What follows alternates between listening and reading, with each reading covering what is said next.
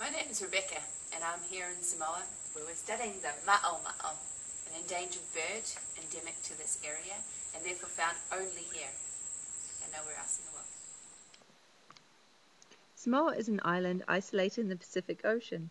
Because of this, the forests of Samoa hold many endemic species and predators such as rats and cats have all been introduced to the island. One of the ways we are studying ma'o is by finding nests.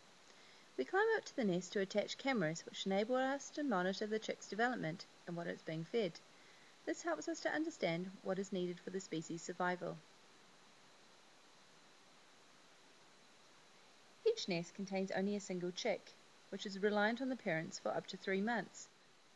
The nest cameras also enable us to determine threats to the species' survival. Watch as a rat leaps onto the back of this female ma'o incubating her single egg. We're looking at the female at the middle of the screen sitting on her nest.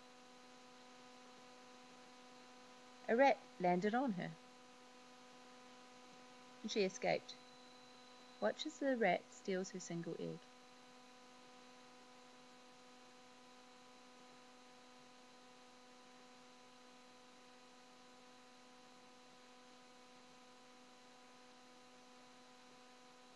This female did not successfully raise any chicks this year. Continuing to determine additional threats to the species.